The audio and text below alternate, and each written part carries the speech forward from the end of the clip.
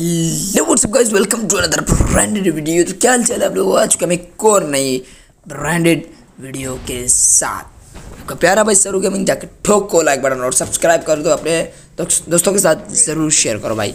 तो भाई, सबसे पहले माजरत यार मेरा गला बैठा हुआ है थोड़ा सा आज कॉमेंट्री मत सही से नहीं कर पाऊँगा भाई। तो इसको इग्नोर कर देना, ठीक है? क्योंकि मेरा आज गला बैठा हुआ है, काफ़ी सर्दी की वजह से।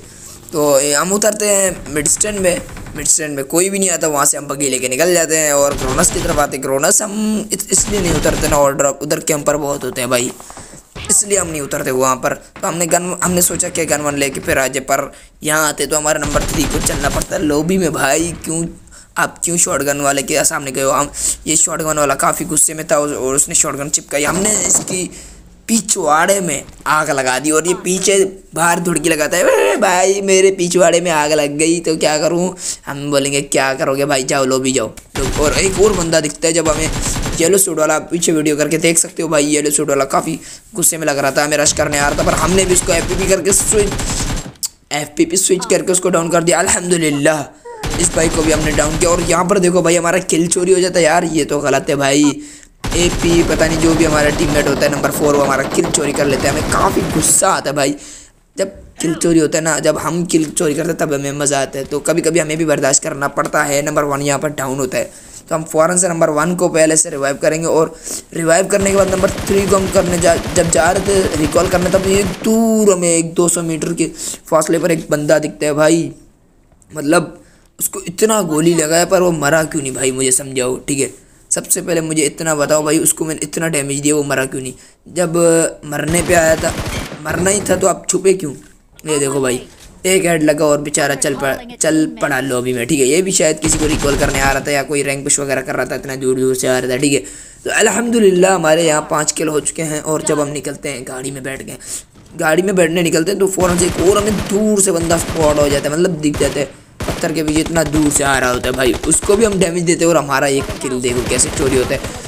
मतलब इतना डैमेज दिया वो जोन के अंदर घुस गया। ओ जोन के अंदर नहीं सॉरी पत्थर के पीछे छुप गया भाई, और यहाँ पर हमारा किल चोरी हो गया। यार नंबर थ्री ने हमारा किल चोरी कर दिया, हमें काफ़ी गुस्सा आया भाई। और यहाँ पर जैसे हम गाड़ी लेके निकलते हैं भाई, ये देखो बल्लून में फुटबॉल में कोई भाग रहा हीरो बंदी दिखा रहा है हमें। हीरो बंदी दिखा गो भाई बहुत डैमेज कर दिया अलहमदिल्ला मतलब चार बंदे थे हम।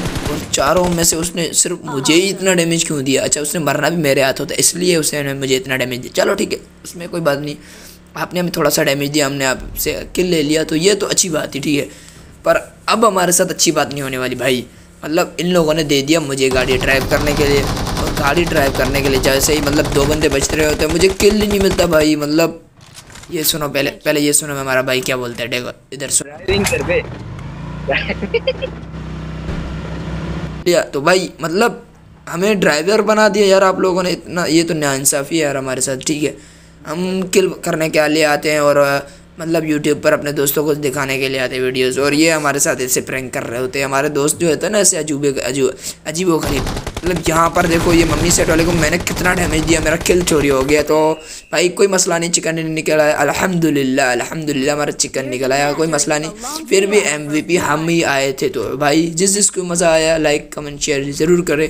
और अपने दोस्तों के साथ ज़रूर शेयर करें। तो अल्लाह हाफिज़, मिलते हैं इंशाल्लाह नेक्स्ट वीडियो में। आपका प्यार भाई सर गेमिंग